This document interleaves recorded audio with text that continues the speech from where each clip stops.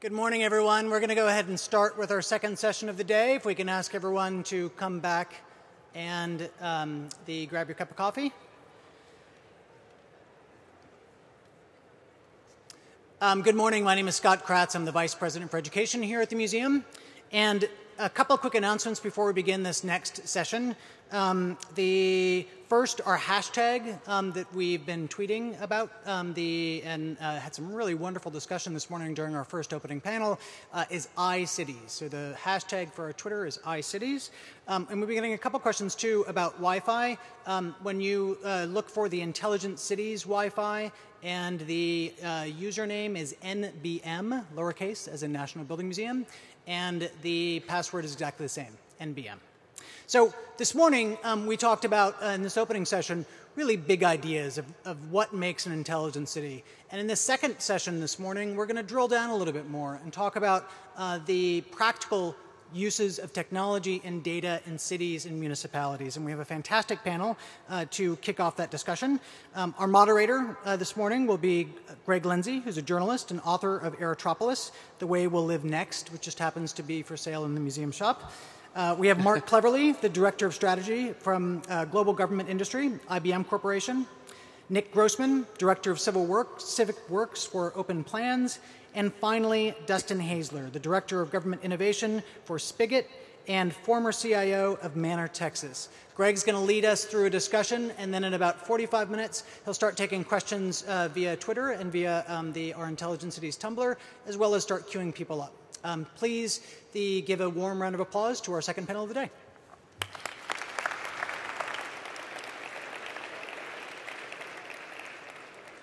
Thank you, Scott, and thank you all for coming again. We all appreciate it. Um, the title of this, uh, this session, The City as a Lab, uh, is taken in part from a, a, document, a report you'll find in all of your packets called A Planet of Civic Laboratories. It was commissioned by the Rockefeller Foundation and executed by the Institute for the Future. Um, inside is a sort of great, uh, great capsule discussion of, of the challenges of, of implementing uh, an intelligent city. Um, as, as they put it, battle lines are being drawn over the future of the smart city. Battle lines, as the Rockefeller Foundation puts it, between uh, the large technology giants, such as Big Blue, of course, uh, and Cisco and HP and others, um, that have aggressively sort of moved into the notion of building intelligent cities and, and are offering to some extent what they term as a smart city in a box. Um, the sort of notion that one size fits all, that all solutions are scalable, and that, uh, you know, that experts can tell you how to implement an intelligent city. Um, and then the flip side of this argument is coming from what they describe as sort of the hacktivist camp, which is uh, you know grassroots technologists advocating bo- you know, bottom-up technologies, open source solutions, and very sort of lightweight answers using off-the-shelf parts to implement a, a more equitable, intelligent city. Um, and the Rockefeller Foundation concludes smartly, I think, uh, that neither approach uh, is, is sustainable on its own. That basically we must reconcile these two together the powerful infrastructure and resources of America's technology companies, along with the sort of you know, grassroots open architectures and initiatives of, of groups like, um, you know, like uh, Code for America and, uh, and Fix, for example, um, and really sort of reconcile these two. Um, and so I think we have a fantastic panel for this, where we have a representative of, of Big Blue, of, of, of Big Tech, uh, a representative of the grassroots in, in, uh, in Nick Grossman as well, and then Dustin, uh, who has uh, who's in the private sector now, but as a CIO for, for Manor, Texas, really had to sort of grapple with these issues on a daily basis. And um, so I think I'd like to address the first question then to, to Dustin that way. Um, as CIO of Manor, you must have been you must have been constantly sort of facing questions. Do we buy it? Do we build it? Do we partner with someone? And, and to many extent you know the initiatives you've done uh, incorporate all three. So i was hoping you could talk a bit about what you did while cio was manor and, and how you sort of approach this sort of landscape uh, between public and private institutions and, and whether just to acquire resources to start your own. Sure so, uh, so Manor, Texas is a very small community. I actually still live there today. 6,500 people, 34 employees, well now 33 since I'm gone. So it's a very, very small community. And one of the challenges that we had is how do we reach out to our constituents and, and leverage them and allow them to participate in dialogue and discussion and how do we create a smarter and intelligent city off of that? And the one challenge that we had was a lack of funds, a lack of budget. And uh, just like most cities, we had to cut back on a, on a regular basis on an annual budget. And so we wanted to find a creative way to think outside of the box on really what a smart city was. And so when you think of a traditional intelligent city, you think in terms of infrastructure layers. You think about the technology, you think about the way that they're interconnected, you think about the business intelligence tools that are on top of that. But we had a different philosophy within the city of Manor, and it was that there's another layer that's often missed from a smarter city. It's called the social layer. There is a group of experts that are average citizens that can help frame problems and that can help solve challenges. And so we set out with the Persuasive Technology Lab at Stanford University to craft a way to tap the wisdom of the crowds and our constituents and to build a network of experts that was far beyond the 34 employees that we had in our community. So we launched uh, what we called Manor Labs at that point in time and allowed citizens to help submit ideas on what we could do better to increase efficiency and to cut costs as a community. And so the innovations and the ideas were driven from the bottom up, which when you look at sustainable change, it's bottoms up, it's local. It's not something that's pushed top down because anything that's top down doesn't typically stick well with constituents. And so we allowed them to help drive the change. We allowed them to plug into the process. And in doing so, we implemented their ideas. We transformed our agency and we were able to think outside of the box. Now, part of that is not just with citizens, and you, you alluded to where the private sector companies come in. And so we leveraged local universities, private companies that were local, private companies that were global. We worked with the university in, in Trentino, Italy, on developing and incubating technologies that would make our city a smart city, but that would really solve relevant challenges that were faced by our constituents. And it was all leveraging this network of individuals that shared a common interest of creating social change on a mass scale. And, uh, and Manor's philosophy is not just to solve problems on a localized setting, it's actually to address global challenges by creating a refined model of a local government. Interesting. Well, uh, coming from that, uh, you know, Mark, IBM has done more than 2,000 consulting engagements to date, I know, on this. Because it's funny, I actually, there's a, IBM has a piece of news today, I don't know if anyone's seen it. Uh, IBM today announced the Intelligent Operations Center, basically a, a sort of distill, distillation of the many consulting engagements that you've done to point. And so you've worked with 2,000 communities by now, like Manor, uh, in, in, in various levels. We can see it all around us today.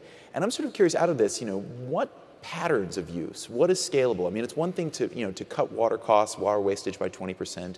It's another thing to cut crime, all these fantastic benefits for individual communities. But what are the meta lessons that IBM has been learning out of this, like a, you know, a Manor has learned on its own?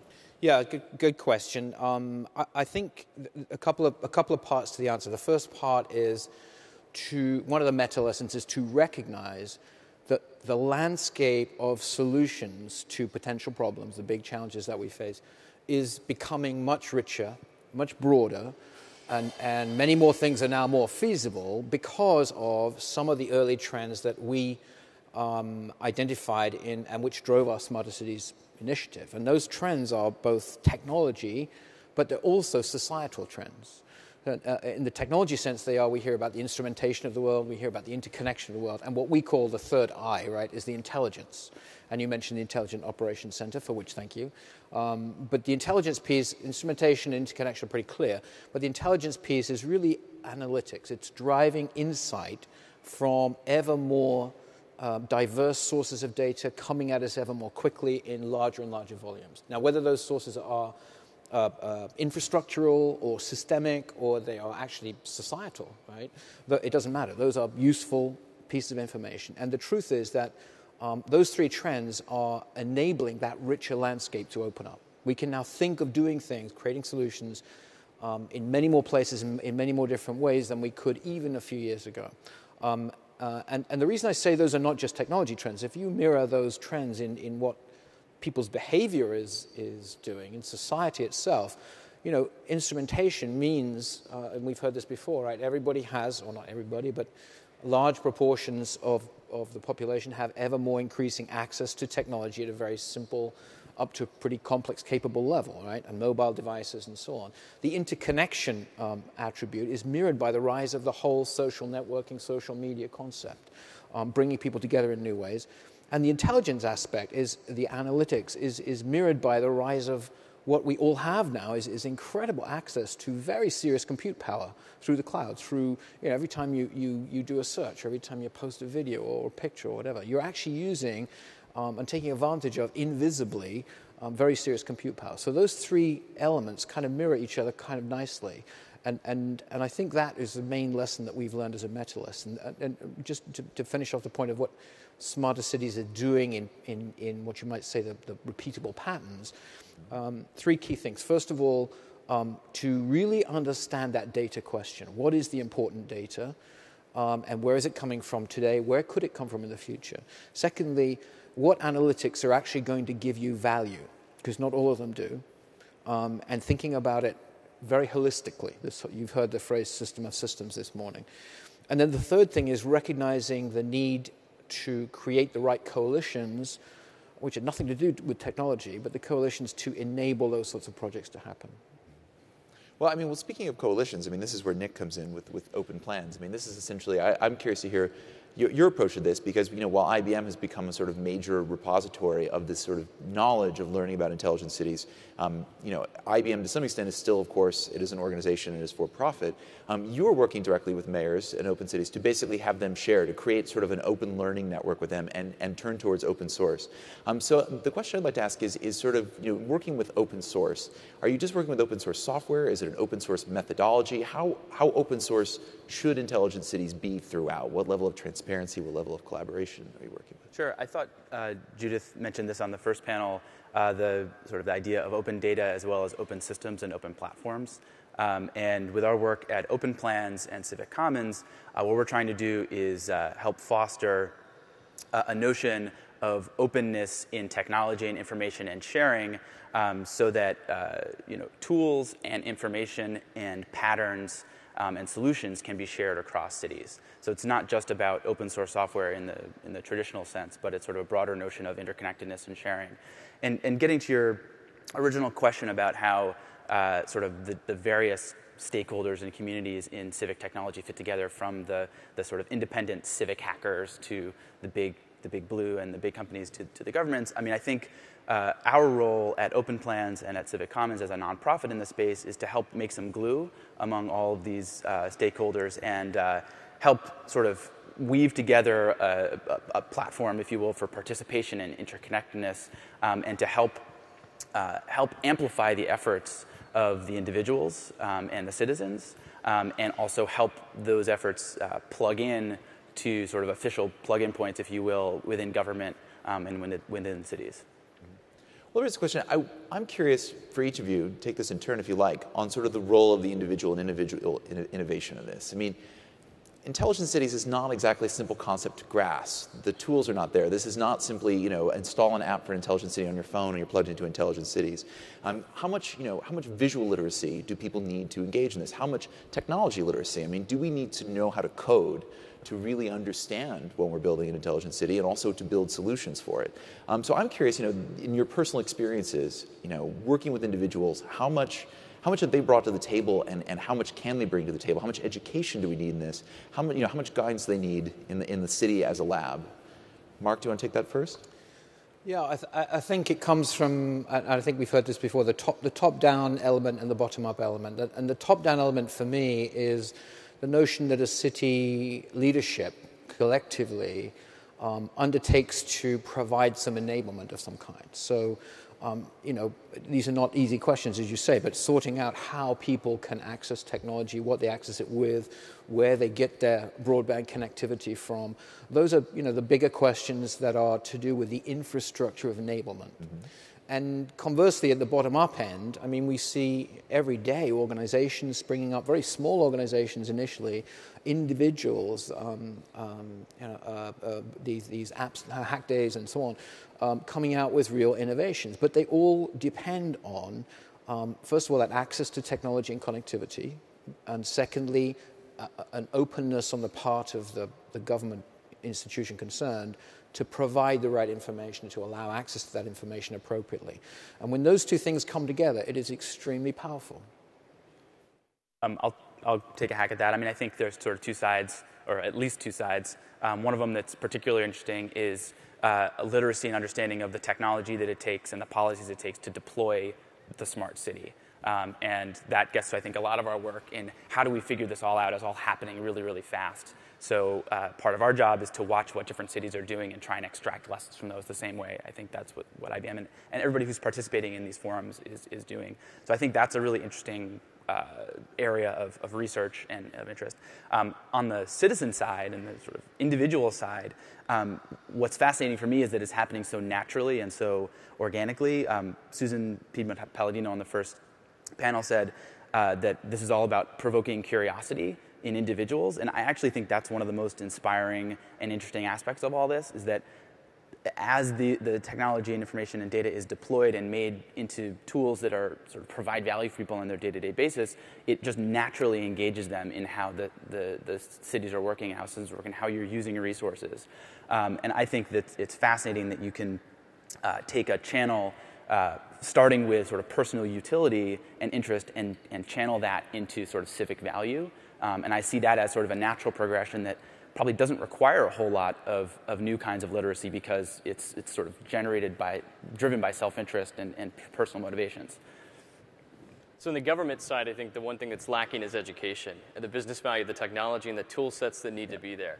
You got to the point where in Manor I had to use a whiteboard to draw out, this is the inherent business value of leveraging this form of technology. This is the role of the citizen and their voice in the process, and this is how it helps you. But it's that simplicity that's key with getting buy in, especially from executives within government agencies. From the citizens, they're already ideating, they're already innovating in their own form and fashion. We just have to tap that. We have to collect it, we have to structure it. The way we do it now in government, I've got a, an analogy that I use. I call it the megaphone syndrome. If we give citizens a megaphone now, what do they do with it? They're going to shout at us. They're going to yell insults. They're going to you know, blast our elected officials. I mean, this is reality. You look at the, the traditional you know, newspaper websites. But if we structure the feedback and give them a clear purpose and give them rules of engagement and what's expected, the equation changes. Citizens start to construct intelligent systems. They start to create. They start to co create. They start to form social networks. They start to solve problems together. And it's just by giving them a clear process of what's expected and making it very easy to understand. And unfortunately, sometimes it's very difficult to understand things. When I came into government, it took me a year just to learn really how government operates and take the textbook based government and throw it out the window and say, no, this is, this is a reality. And it's not something that is the same in every city. It's unique and it's case by case, and we have to make sure as government agencies that we help educate constituents on that. So in Manor, it was how do, where do your tax, you know, where do your taxes go? And it was the fact that Manor is not a federally funded city. Uh, contrary to popular belief, if you take a look at our city hall on Google Street View, you'll, you'll uh, see quite easy. Uh, but it was telling them this is how we're funded, this is where your tax money goes, and doing very simple things that leveraged radio, that leveraged offline medias as well to allow them to understand how their city operated on a very fundamental level. Following, following, that vein, I, I, was hoping you could talk a bit about sort of what you know the, the quick response solution you guys rolled out because I want to get to the notion of you know eh, when discussing intelligent cities, there's this sort of there's this sort of dichotomy I always find in covering this, um, where there is of course the grand vision where we're imagining a massively sensored up, interconnected globe where there is an Internet of Things and there's torrents of data and everything is being analyzed by massive analytical engines, uh, and then there's today, which is the prosaic truth of it, which is that there is a sort of piecemeal and mosaic of standards and technologies out there, and I'm, I'm sort of curious if you could talk a bit about the quick response and sort of how you got there and how you knit that together from what you had on hand. Because this is, to some extent, it, everything is sort of grassroots right now for a lot of communities that have, do not have the resources of an IBM assisting them, is that you basically have to sort of you know, pick up whatever's lying on the ground That's and right. start creating intelligent city. So in 2008, the city of Manor was looking for a document management solution, and upon doing so, we decided instead of financing one, we were going to build one ourselves and leverage a local network of partners. So part of the process was looking for different barcode standards, and we found what's called the QR code, which is actually one of the program today, which is which is great. And, uh, and when we saw that, we used it for our document management solution. We started to see other uses of this particular technology in the sense of putting it on buildings within the city, putting it on projects within the city. And so we did this in 2008, and I think everyone thought we were crazy at the time. But the premise was to bring another layer of intelligence to the physical world. So we all know that we construct projects, and we put signs out front that explain the details of capital construction projects within a community. But one of the things we wanted to do is make that information live. No project in government is ever on time or on budget. And so we wanted citizens to have the ability to scan projects and to find out information about that project at that moment in time. What is the current year-to-date expenditures for the project? What are the change orders associated with weather delays? And allow them to see all of that detail just by scanning the project, but augmenting the reality by giving them this other layer of, of transparency. Interesting. And so, what is you know uh, what is the underlying technology of it to some extent? Was it all off the shelf? How much of that did you develop? Did you, you so, know, so the first phase was 400 bucks, and the only cost the only cost associated with the technology is the cost of the material that the QR codes on. QR codes are an open standard, so you can go to Google and you can create a QR code for yourself and you can print it out on a piece of paper. And so the only cost was the material itself. It requires that a citizen has a smartphone. However, we, we provided other means of uh, having data access, whether it was through Wi Fi, so they didn't have to have a data plan, or whether it was through texting to, uh, to receive the information back to their phone with what it was that was right there in front of them. Interesting. Well, Mark and Nick, I'm curious, for both of your, your perspectives on this. I mean, this sort of speaks to, you know, what, what the state of the art of possible is now. And then, of course, we have a vision where we want to go. And I'm curious, both of you, your thoughts on sort of what's missing between the, the, the, current technology and the future technology in terms of standards, in terms of what's missing from the application stack, in terms of what needs to be written and how it's likely to be written. Because this is sort of the, I think, the biggest practical thing that's holding us back from the implementation of Intelligent City is that, is that we know we have a vision, we know where we want to go, we know the benefits are real, but we don't know what pieces, are, or perhaps we do know what pieces are missing, but in what order do we fill them in? How do we build them out, um, you know, and, and, create them from there? And, and, what is the role of grassroots versus an IBM in those roles, standards bodies? I mean, there's a whole universe of technology that, you know, I'm not sure that the people in this room really know about because well, this has been minutia for years. Yeah, w- w- if I can just, I'll, I'll, take it from that sort of the IBM view and, or the, the, the big company view, if you like. The, um, I think one of you've got to think about the role of an IBM is, or, or another company like us is not just to produce the technology and kind of show how it gets used, but to try to coalesce the ecosystem that's needed to, to really move forward. And often that is around standards, right? And somebody, I think it was an Accenture spokesman, once said, you know, standards are an agreement to stop innovating. Mm-hmm. right? So there's a kind of a tension there, right? All the private sector companies like to innovate, but at some point you have to get the message that, or we have to get the message, and I think we are, that we need some standards to make certain things work. To, let's say, if we want to have a building management system, talk to a public safety system so that in the case of an emergency, the building management system can help to evacuate people, right? Sim- relatively simple ideas, but that re- relies not just on the technology at either end, but on the standards that link that information, the protocols and so on, and also on the governance of how you are prepared to operate. The different agencies involved are prepared to operate. So standards at the technology level are important, but standards at the, uh, the level of governance and collaboration across boundaries in government, in government particularly, not exclusively, um, are really important too. And, and, one example I'll point to that's very interesting right now is, is the Open 311 standard that's emerging that um, I think is going to become very useful, and not just in this country. The 311 kind of started here, but a lot of other cities around the world are looking at it. Um,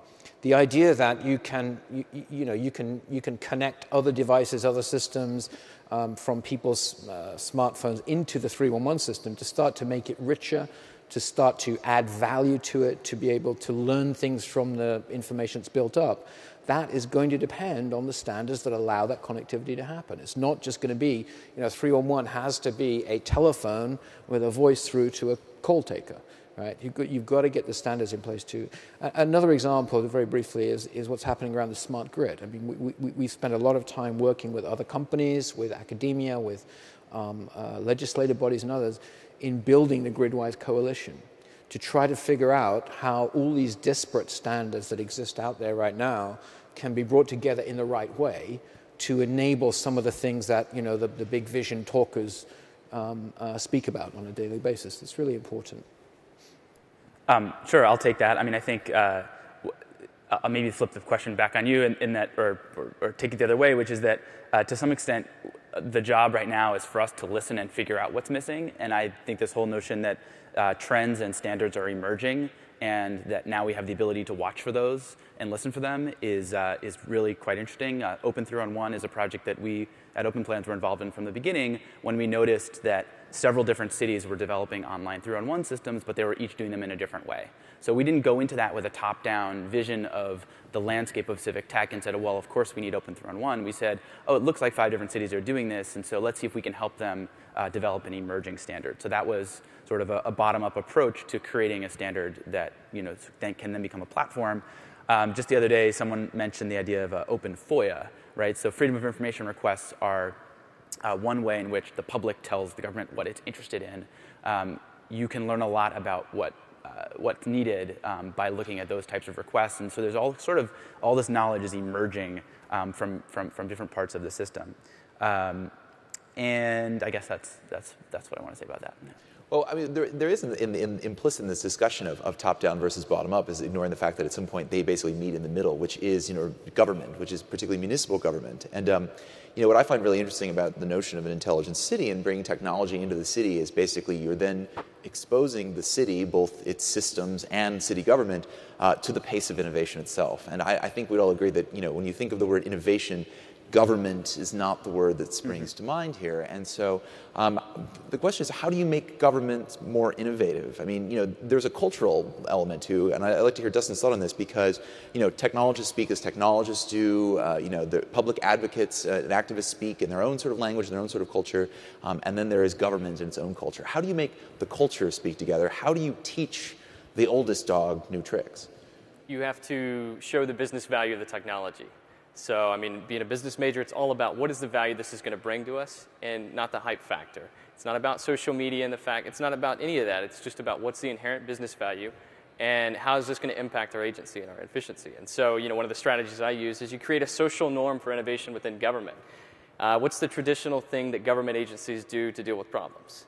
You, you own a pair of them in your, uh, in your house. It's a pair of scissors. We cut back, we cut our budgets. And so one of the things that we can do instead of that is we can look at ways creatively to solve problems. So Manor was faced with the same thing. It was either cut back or do something that was outside of the box, that was creative, that was innovative, and that leveraged a network outside of our network of experts. And in doing that, we opened ourselves up to amazing ideas that radically transformed the way that we did business, and it engaged the citizens. It made the process fun. We incentivized it. We allowed them to participate. So I think that education's one, but also thinking outside of the box and not accepting constraints or the box that we're given as the final answer. And I know it's a little bit more difficult when you get to higher levels of government to do that, but from a local level, from a municipal level, the city can be a lab, and it is a lab now. And you can look at many cities across the country, like San Francisco, that are doing things that are experimentative and that are really solving problems. I, if I may, I think another key thing is well, two, two things. One, one is leadership is very important. If you have the right kind of leader or group of leaders emerging, then that is really very helpful in government. And, and secondly, I challenge somewhat the notion that government isn't innovative. I think that um, you know in government you find a lot of different people who are innovative, who want to do new out of the box things. I mean, one of them sitting right here. Um, uh, what you need to do is to try to find a way to to let those people free and work together across the boundaries of their agencies, maybe um, at the city level or other levels, um, and enable them. And, and that does take leadership. And the, and, and the main job of leadership there is to figure out that it's okay for that to happen, that it really is a, a viable way for government to develop. And you look at I mean, there are so many examples of that. One is, is what they did with Team Georgia, service delivery at the state level in Georgia. Um, created a whole group of um, self managed teams who did you know, root cause analysis of service problems, and they have made remarkable strides themselves in just in simply cutting down response times, figuring out where blockages were. Um, and, and, the truth is, there are innovators in government.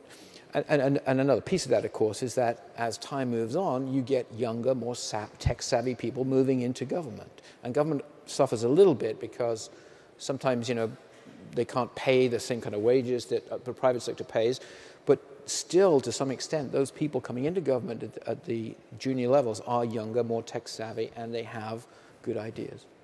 I'll add, uh, I'll add on to that that, I mean, I think one of the biggest drivers of bringing innovation into government is that in many cases, traditional development models have failed, right? And so, and budgets are tight, and that necessitates uh, exploring new approaches. I mean, all of Dustin's work in Manor is about uh, trying something new because you have to.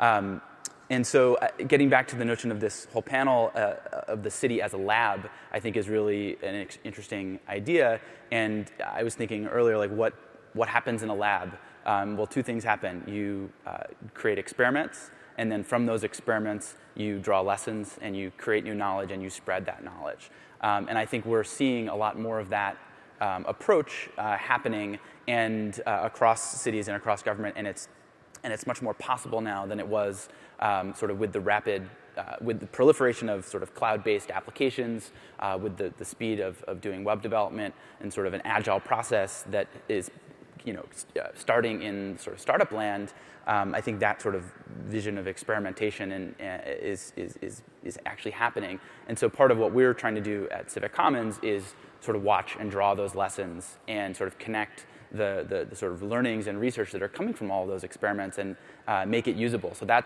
when getting back to the prior question of sort of what's missing, um, I think that this uh, sort of communication uh, and layer and coordination layer, uh, sort of to build on top of the learnings and experiments that are happening everywhere, um, is, is, a gap that we're trying to fill.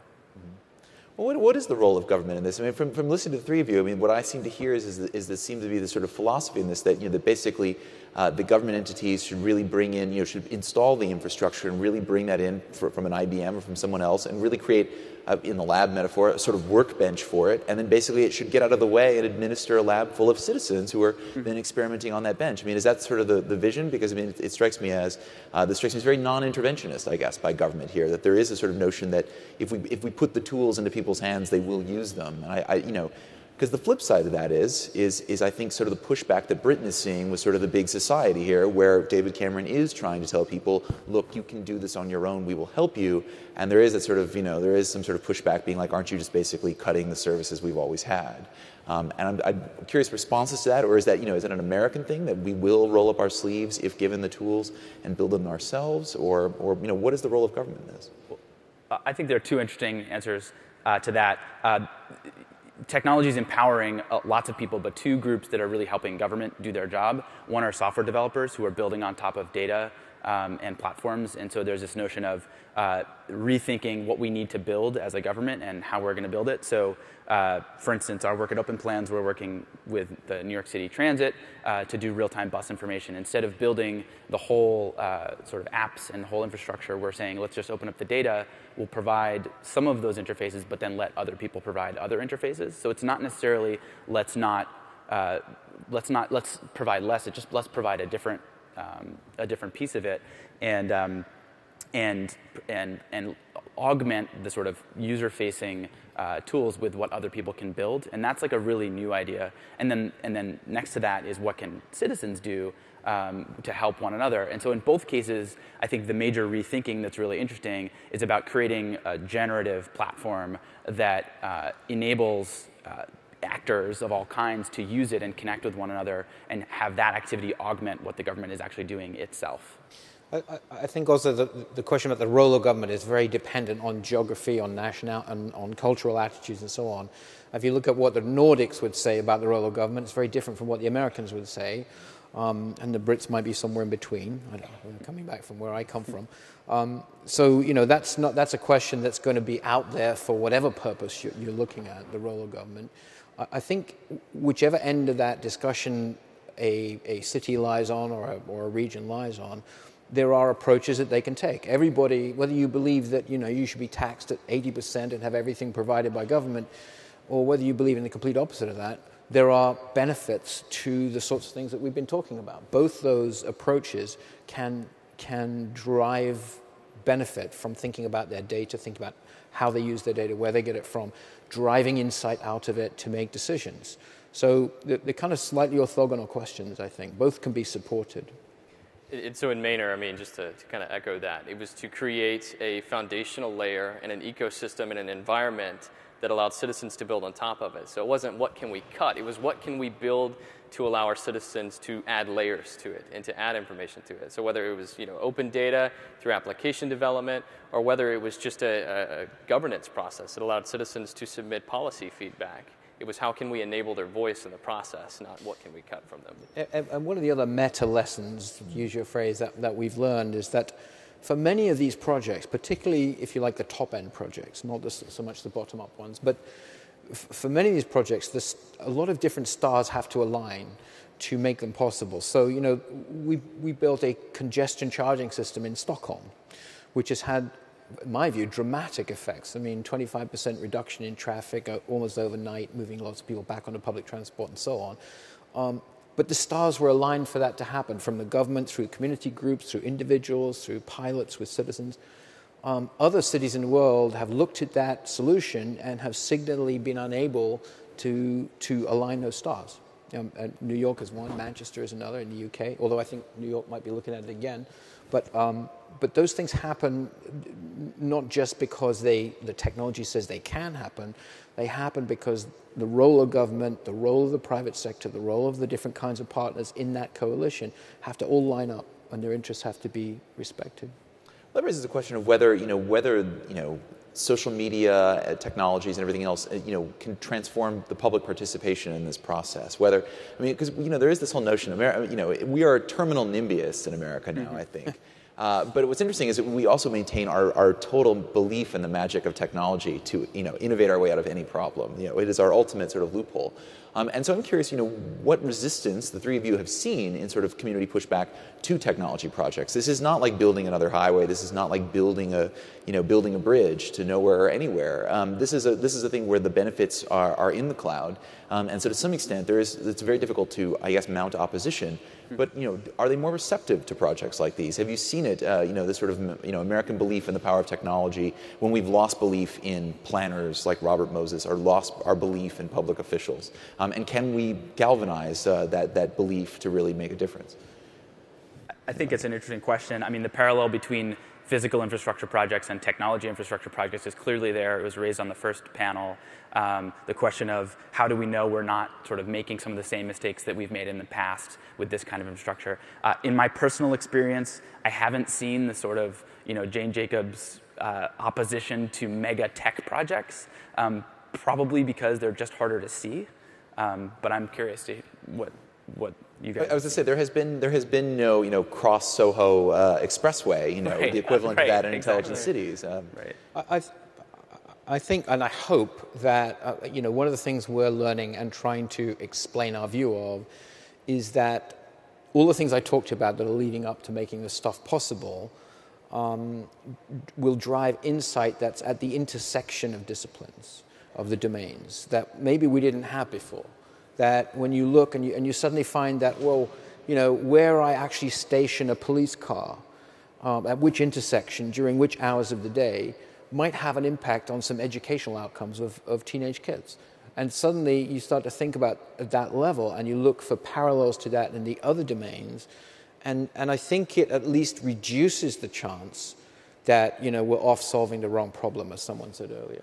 Um, so, you know, that's, that's the hope for some of this, that as the physical and the digital world get kind of closer together um, and, and more linked, that that will enable those kinds of decisions to be made with, with better information, with more insight, drawn from more of the, of the community sources. Um, so, you know, I'm very hopeful that that's, that's happening, but it's going to be slow. It's going to rely on the things that you've mentioned before, standards and governance and so on. One last question before we open it up to questions from the audience and from Twitter, um, which is, I guess, directed, directed towards Nick and Dustin, which is how do we guarantee inclusion into an intelligent city, particularly the inclusion of the poor, obviously. I mean, this is, we, we live in a world where basically the most sophisticated sensor we have and our interface for intelligent cities is a 200 to $400 smartphone. Um, and the interface du jour seems to be the iPad, which you know can cost $800. Um, and you know, and while the cost of these will fall, there will be something else to replace them that developers will want to build for. How do we how do we lock in a sort of you know pro poor inclusion into this uh, so that there's not a you know the, the, digital divide does not become an everyday life digital divide in everything around us? So in Manor I mean there was always an offline component to the online services that we offered. That was a part of the strategy that was a part of the policy is to make sure that from an inclusion standpoint we always had a way to access the data or the information even if they didn't have access to a computer or, or, similar device. The other notion is to use citizens as a form of sensors, so to allow them to respond and to tell us how they access information, and whether you do it from anal- analytics or data that we extract. Uh, but the, the goal in Manor was to analyze where the conversations were taking place, allow them to be channeled into the city, and to really create action off of that. So to do more than just listen and respond, but to, to have action.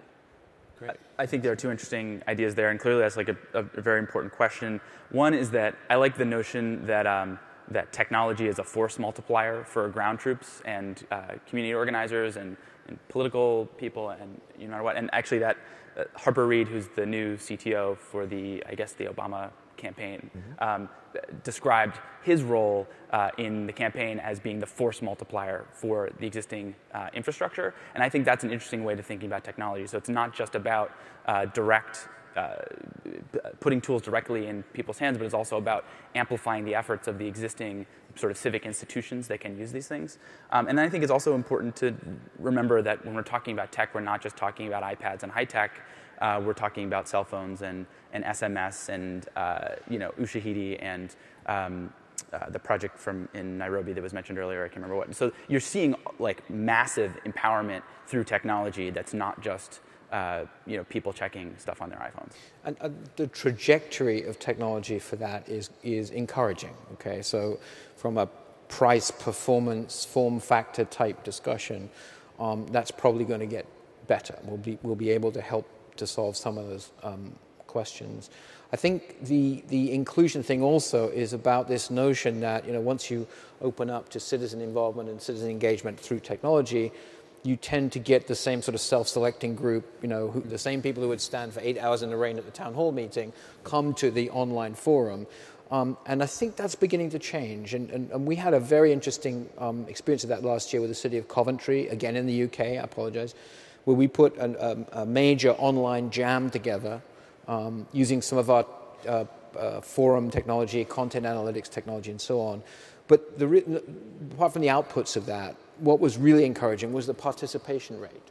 The people of the city participated um, at rates that, that completely blew out the numbers that you typically see on internet forums. They blew out the ratio of over 50s to under 50s. Um, so I'm very encouraged by you know what we see with when we when we do start to go and engage and try to make more accessible um, the the relationship between citizen and government in cities. And my standard answer to that question also is that uh, there's a, uh, an analog participation gap that exists without the technology. Mm. And so, uh, you know, that's one form of, uh, of uh, exclusion and non-participation. That so, the, the, the idealistic view is that, that technology, the uh, adoption of technology, is, is expanding the universe of participation um, in different directions, but sort of to a greater sum total. I, am I'm just this is the oldest and greyest member of the panel here. I, I just want to the wisest hark, no, no, not at all.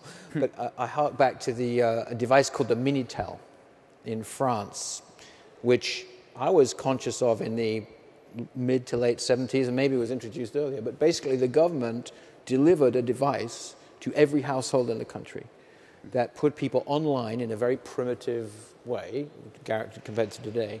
But the decision was a radical one. It was uh, some people would say it wasn't a hugely successful experiment. Others say it was really successful in driving up awareness and accessibility to online service at a very early stage. Kind of interesting. But, did, but it also sort of failed because it was a closed system. I mean, that's sort of oh, yes, that's certainly yeah, true. Accepted failure. That's, that's, interesting. It drove awareness of the actual existence of the system, but without the ability to build on it. Right, which is a different case today. Right? Yeah. We have those standards now. Well, while we wait for questions from the audience, uh, we have a question over Twitter from the, um, from the Planet of Civic Laboratories report's lead author, Anthony Townsend, is out there lurking in the ether. His question is, is when does circulation and duplication of good civic technology become as commonplace as bike sharing, bus rapid transit, et cetera? Uh, so I guess I interpret that as is when do we reach a tipping point? Because at one point, bike you know bike sharing was a radical thing done by maybe one European city, mm-hmm. and now it's sort of an accepted good. Chicago is going to do this. Uh, bus rapid transit went from Jaime Lerner's you know crusade to something that's very catching on. Um, so can we imagine? I guess sort of how long will it take? Given the acceleration of the technology, given the acceleration of our awareness of all these challenges, when do you think it will tip? When will this become, become part of the common parlance, I guess, of, of urban planners' toolkits? Anyone want to hazard a guess on that? Six months. the optimist on the panel. Yeah, I mean, I would, I would say it's, it's already starting. I mean, we're, we're starting up the, uh, the hill to the inflection point at that. So I would say six months to a year. I think there are also different um, change trajectories. Uh, you know, on the consumer level, it's going to change really, really, really fast. Um, you know, I didn't have a smartphone in my pocket two years ago, and now I can't live without it. And uh, sort of the original, the, back to the idea we were talking about at the beginning about how sort of people's own personal motivations are going to drive engagement. I think that's going to happen super duper duper fast. I think on the institutional side, it's going to take a, long, a, a little bit or a lot longer um, because you're talking about rebuilding different forms of uh, infrastructure, whether that's you know, procurement, a, a, a, single given project, say, that a government goes out and buys, or sort of a longer term culture of uh, thinking about sort of approach. Those things are going to take longer, but I, I think the, I don't know if lava is the right um, metaphor, but you know, there's, there, there's different change, pace, the pace of change is happening at different, at different paces, um, and some of it's going to be super duper fast. Yeah, I think that institutional question is, is a longer term one um, than the, the consumer electronics, electronics side that we talked about. The analytics side, the, you know, once you have digital data, then the, the, the smartest algorithm that anybody has today or tomorrow can be used on it. So that's not a, a particular um, constraint. But the institutional acceptance of all of this is the slowest piece of the picture. Any questions from the audience? We've got one in the back, please. Wonder if the, can you hear me? Uh, if the panelists could speak to public education, given that a large part of what cities do, and talk about some of the barriers and opportunities of using these type of platforms to engage citizens. So I'll speak to, uh, to Manor as an example. So public education played a, a, pivotal part, and actually it was not just doing outreach through the existing channels like the newspaper, et cetera. It was going into the schools and teaching the students about this is the way your government operates, this is the way that you can get involved in the process. So when we first deployed our QR code program that I was talking about, we had very slow adoption rates. It was very early on. We went into the schools and we taught the students about how to use it. We had a, a series of different public meetings to bring people in so we could help them get the readers on their phone and teach them about the technology and also teach them how they could use it for their own business. And once we did that, once we showed them the business value of them using it as an individual, the technology adoption rate skyrocketed and they became a digital Stonehenge for the city of Manor.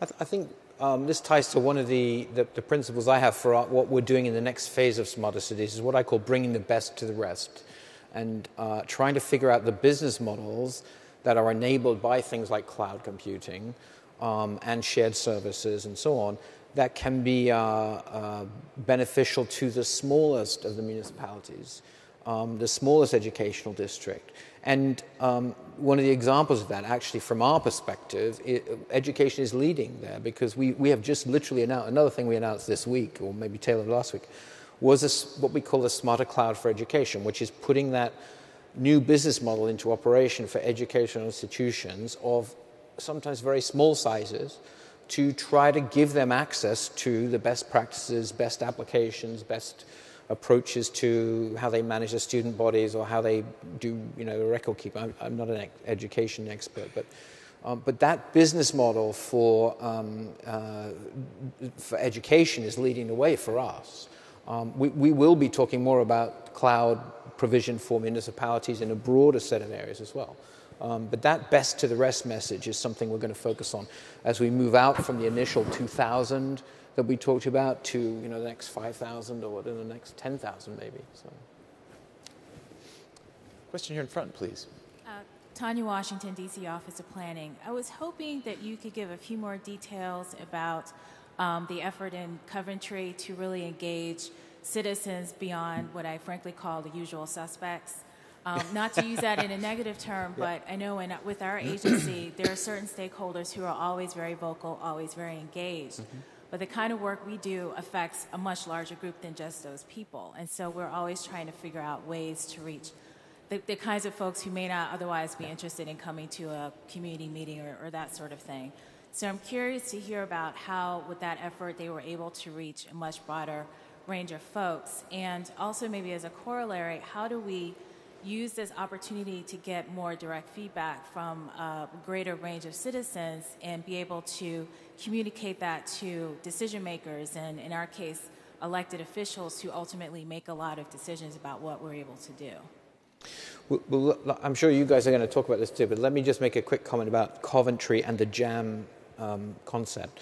Um, Coventry was, was the first city we had done that with, but we have done jams before with um, communities of various kinds. And in one case, um, uh, the World Urban Forum a few years ago, we did a, a jam in, in the run up to that to try to drive the agenda out uh, of what that forum should talk about. And so we were doing things like taking um, buses around villages in South Africa um, with facilitators to get people to um, participate, even if they'd never seen a computer before, but to have conversations which were then translated into the whole um, jam picture. Um, and, and so in Coventry, it wasn't quite um, you know, as dramatic as that sounds, but it was certainly a, a, an outcome of some very serious planning before the jam, which is, by the way, a, a very fixed period of time 72 hour, certain set of topics, um, time constrained, content constrained discussion. It, it, could be more, it could be less, but for that purpose. Uh, and so there's a certain degree of planning that goes into how you solve that very problem of the, the, the as you put it, I think very well, the usual suspects, because they do exist. Um, but but uh, the participation rates, and I'd be happy to send you some material on that, were dramatically different from um, the usual suspects in the town hall meetings. And, and I can't explain why, except to say that it was planned well, the outreach was performed, um, and in this case at least, it seemed to work. I'll, I'll uh, say a couple things. I mean, I think it, these are really fascinating questions. On the issue of how do you build engagement, I, I think it's going to be new ways. It's not just about getting more people to come to a public meeting. We're going to see ha- engagement happening in different places in smaller ways, uh, more ubiquitously. Um, and I, I, there are two examples I think are interesting. I mean, one is I think you build engagement on top of personal utility. So my example is I'm riding the bus. I use my phone to find out when the bus is coming, and then the agency can then ask me to answer a question about how the system is working for them, right? So you can build engagement into personal utility tasks and, and little interactions that happen throughout the system. Um, the issue of game mechanics was also mentioned uh, earlier on. Uh, there's an interesting project out of Boston called um, the Community PlanIt. Uh, where they're building a, a, game that, that walks people through the city and asks them questions about how it works, all as a build up to the public meeting. The, the idea being that you don't want the public meeting to be the time for people's first chance to, to connect or, or learn. And if you can build up that knowledge and understanding and questions uh, over time, that's more meaningful. Um, and then on the issue of how do you channel feedback in more meaningful ways, um, the, the idea that I think is most interesting is that people are saying things and it's not just about getting them to say them in your forum. So come to my public meeting. It's about how do we listen to people where they're already talking. Um, Clay Johnson calls this uh, giving government better headphones. Um, uh, there's a, a, group called Expert Labs building an application called ThinkUp, which uh, lets you listen to Twitter and, and sort of channel it and, and, so on. And so, this idea of listening better and in different places in more ways all the time, um, I think is quite interesting. Getting back to the original question about where, where's there pushback, or one of the questions about where there's pushback, um, one thing that I, I think I should have mentioned is just, and was mentioned earlier, is the question of privacy. I think that's the area where we're, if we're not already seeing it, we're going to start seeing it um, because government's going to be listening better in order to do good things, but also that raises sort of a creepy specter. We have time for one last question, please, in the back. That would be you. Um, I'm, I'm a little confused because if you talk to Walmart or you talk to home builders, they're going to say they build a product because people buy it, and that's responsiveness. So the issue of data and public input, doesn't it put more responsibility on staff in cities and change the makeup of staff and possibly expand government to be able to use the information usefully? An interesting question of scale. It is, it, it, digital scalability implies that we can basically scale up participation without human intervention. Is this the case, or is there an unintended consequence? Anyone? So I, can, I mean, I can speak from Manor as an example. The, the public's input actually allowed us to reduce the amount of wait times and, and, the loads that were put on existing employees because we distributed the workload. So instead of constituents saying, hey, you know, there's a pothole right here somewhere in this general area, now go send a team out there to find it, they were able to use their smartphone, take a picture of it, geotag, vote on their least favorite pothole, and prioritize our response on that. So it actually distributed the workload to the constituents, thus reducing the burden on the agency itself. I, I can't. Oh, yeah, so please speak Sorry, that's, that's low paying work. That's like, let, let's find it and we'll fix it. It's the actual idea of framing policy sure. that responds that I'm yeah, interested some thoughts in. on this. I, I, think that's interesting. Oh, sorry. We're working uh, right now with the New York City Department of Transportation to help them build tools to gather feedback from their constituents. And um, one of the, the biggest questions was how are we going to staff this? Because now we're going to get all these comments and what are we going to do with it? And it's, it's a, a sort of a parallel question to uh, now that we're building, if we're just building uh, data platforms, we have to manage new communities of developers. And how do we staff that? And all of these things point to shifts in staffing of government for sure. Um, I like Dustin's answer that you're you're building a platform for people to help answer each other's questions and build their own tools. And so uh, my idealistic answer is that hopefully it's not about just expanding, you know, uh, linearly staff uh, as, uh, and the idea that you're getting a much bigger bang for your buck as you invest. But it's certainly a change in how in how staffing It- is set and up. to kind of echo over that one second, we uh, we crowdsourced a master plan for a county, uh, Harford County, Maryland, 233,000 people. Crowdsourced it. So instead of a traditional public meeting, which they still had those, we allowed individuals in the community to submit their feedback for the master land use plan for 2012. And we allowed the citizens of the county to vet the ideas first. So they were the first filter of the feedback, and then there were clear feedback loops built into an enterprise process on top of that. So they allowed the crowd to vet it. It didn't increase any workload from the county's part. It distributed, and they got amazing participation from those people that don't normally want to show up to the meeting late at night. So that was one way that, uh, that we structure that type of I, I think if I may, the, the, the, a couple of points. Um, first of all, I, I don't want you to think that I believe that technology can magically solve everything. But in the case of what I think the question is talking about, is it, it can certainly help. The idea is not necessarily to do more with less, but to do more better with maybe the same and maybe less over time, or maybe more over time in some cases, right? But an example of how um, you know you can use technology to at least affect that staffing question. Uh, maybe some of you saw the Watson machine playing Jeopardy, right? Now Watson is a very deep analytics capability, which we're thinking about other app- um, applications of Watson other than just being able to play a game show. Um, and one of them is clearly in um, medical uh, diagnoses and so on, and supporting physicians in that role. One of them that I'm thinking about right now is what, what Watson could do in triaging 311 calls um, and trying to gather information from what the questions are that people are actually asking of cities, um, and at least come up with, you know, not, not the be all and end all answer or the response, but a capability that will help the existing staff to do that job smarter. I think what's interesting about the question and your answer, Mark, is that uh, you could at once see all of this technology greatly expanding the required capacity of staff inside governments and also greatly reducing it and cutting jobs. And so you could sort of imagine a doomsday scenario in both directions. Yeah. I'm not a fan of doomsday. Me neither. I don't, I don't think any of us are. Well, on that light note, um, please thank our panelists. I'd like to thank our panelists for our very smart panelists. We'll steal Rick's joke again.